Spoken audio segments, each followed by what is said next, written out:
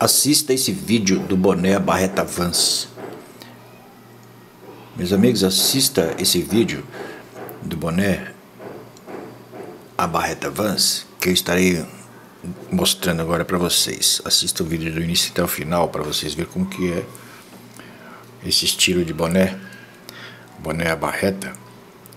É o seguinte, esse boné a Barreta da Vans, ele é na cor azul escuro, certo? E tem aqui na frente escrito Vans duas vezes com é, branco aqui, ó, no é, VA, VA aqui, aqui no SS já é riscadinho, tá vendo? São duas, como se fosse assim, ó, Vans assim e Vans assim, ou na reta também, né?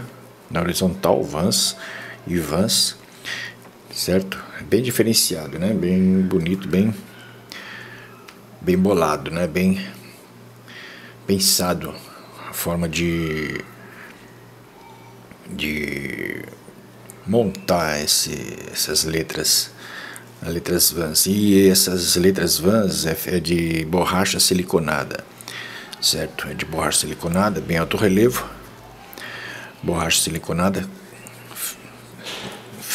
grudada aqui, né? Colada aqui na parte frontal. Então é grudada aqui, é, colada, né? É, essas letras de borracha siliconada bem alto relevo na cor branca e o boné é na cor azul, azul escuro, certo? E mais um detalhe também importante do desse boné barreta é o seguinte, que tem uma essa parte branca do, do das borrachas siliconada, dessas letras brancas, é, combinou com o branco aqui, ó, das divisões do, do, da aba, né? Porque a aba, essa aba aqui é, uma, é a famosa aba sanduíche. Então esse boné aba reta, ele tem o o formato aqui da aba de aba sanduíche. Muitas pessoas conhecem como aba sanduíche. Deu o nome de aba sanduíche. Por quê? Porque aba sanduíche vou explicar para vocês, é, no, no mínimo os detalhes, o que significa e por que as pessoas conhecem e deram o nome de aba sanduíche, esse apelido, né, esse nome de aba sanduíche, porque é como se como igual um sanduíche, por exemplo, sanduíche de queijo. Vamos vamos vamos é, por exemplo, fazer um preparar um sanduíche de queijo. Que, que você como você irá preparar o sanduíche de queijo? Você irá colocar uma fatia de pão, no caso essa parte de cima da aba, a fatia de pão, na parte de baixo outra fatia de pão, tá vendo? Duas fatias de pão com o recheio de queijo no meio aqui no centro, dividindo, ou quer dizer, montando, é, preparando o sanduíche, certo? Então, por isso que as pessoas deram o nome nome eles conhecem como aba sanduíche, esse estilo de aba aqui, ó, aba com três camadas. Camada de cima, camada de baixo e essa camada no meio, dividindo as duas camadas, certo? A famosa aba sanduíche.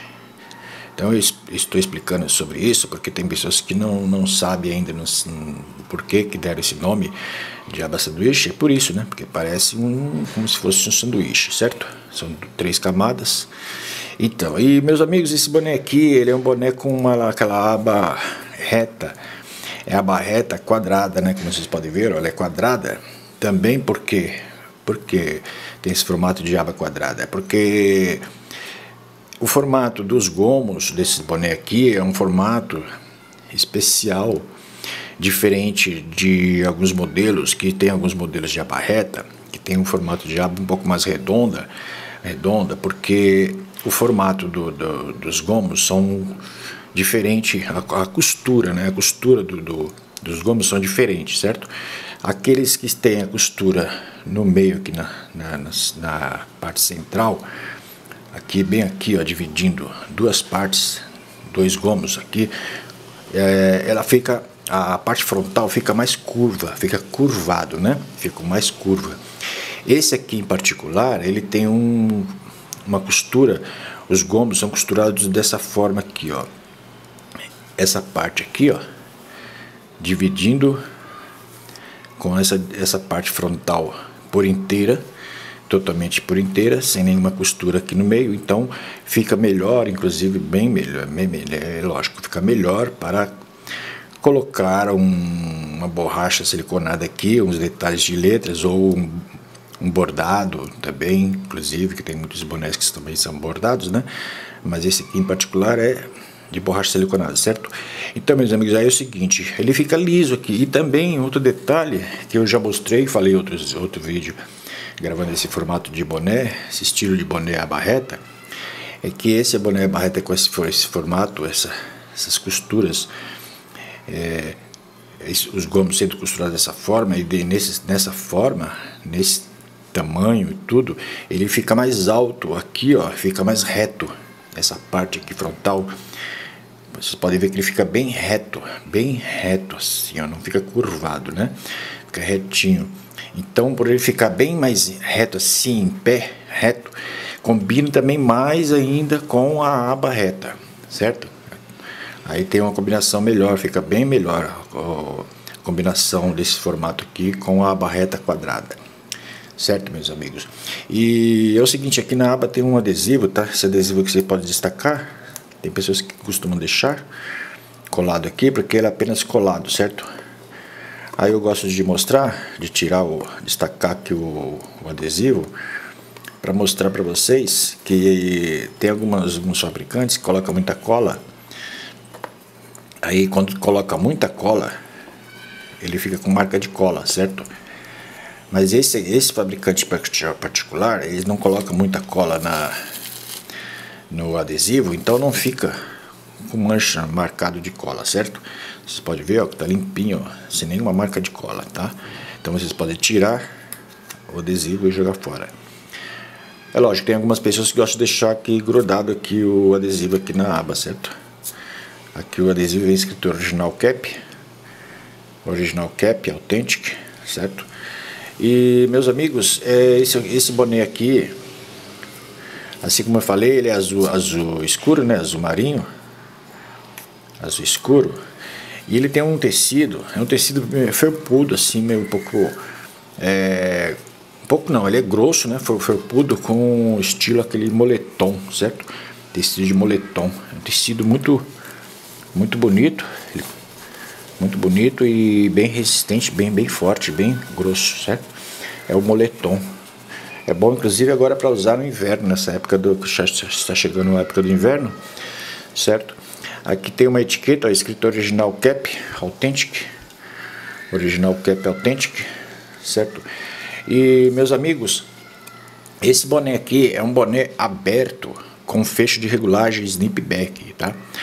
Então, é, serve para dos tamanhos de cabeça, na largura, na circunferência, certo? E na lateral aqui, ó, também de borracha siliconada, também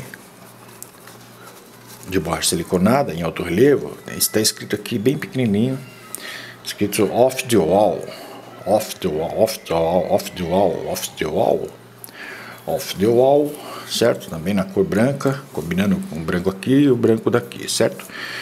E como eu falei, o fecho de regulagem né, é na cor azul, inclusive, azul, azul escuro, azul marinho, combinando com a cor do boné, né, certo? Então, fecho de regulagem de snipback. Então, vocês poderão ajustar aqui na largura, na circunferência, certo? E na parte interna do boné, toda essa parte interna do boné vem escrito, deixa eu só tirar esse papelão aqui que vem de fábrica, é o seguinte, na parte interna do boné vem todo escrito original cap. Nas divisões dos gomos aqui, ó, vem escrito original cap em todas as divisões dos gomos. Vem escrito original cap. Aqui, inclusive, também dividido o gomo da frontal, né, como eu mostrei, a parte de cima, aquela vem escrito original cap e original cap, todas essas divisões dos gomos, certo? E tem duas etiquetas. Aqui eu tenho a etiqueta original Cap Authentic, escrito original Cap Authentic, e aqui outra etiqueta embaixo escrito que é tamanho único e 100% poliéster, certo? Fabricado no Brasil. Está escrito aqui, ó, não lavar, meus amigos, mas é o seguinte, eu recomendo vocês lavar sim, certo? Porque se o boné, você está usando o boné por, por muitos dias, muito tempo, ele está com muito suor, ele transpirou muito no boné. Ele fica com cheiro, aquele cheiro de suor forte. Ele fica meio. Meio não, fica sujo, é lógico, né? Os bonés está sujo. Eu recomendo sim lavar, certo? Está escrito aqui na etiqueta não lavar. Muitos fabricantes colocam isso para que vocês usem o boné por um tempo. Depois que sujar, você compra outro novo. Mas, meus, meus amigos, eu recomendo lavar sim. Inclusive, eu gravei alguns vídeos aqui no meu canal mostrando como lavar bonés, certo? Já gravei muitos vídeos. Irei gravar em breve mais vídeos de, de outros modelos, outros estilos de boné, certo? Mostrando aqui para vocês como lavar um boné, certo? Mas eu já gravei muitos vídeos aqui, já tenho umas, uns 5, 6 vídeos gravando, eu gravei mostrando como lavar bonés, certo? Porque eu recomendo, é lógico, lavar um boné, certo? Principalmente na área interna aqui, ó, do boné. Nessa área interna aqui, ó, esse tecido aqui, ó, que fica em contato com a pele, esse tecido que fica em contato com a pele é o, o principal, que fica mais com mais é, sujo, né? Com mais a camada de suor, né? Acumula mais o suor, mais nessa, nesse tecido aqui, inclusive, principalmente, certo? Então eu recomendo sim vocês lavarem o boné, tá ok? É, porque eu mostrei aqui que na etiqueta vocês viram que está escrito não lavar, mas meus amigos, eu recomendo você lavar sim. Lave o seu boné, é só saber, saber lavar com cuidado, lavar na mão, certo? Não recomendo você colocar dentro da máquina e jogar dentro da máquina lá para a máquina de lavar a roupa, lavar ele, porque ele poderá estragar, certo?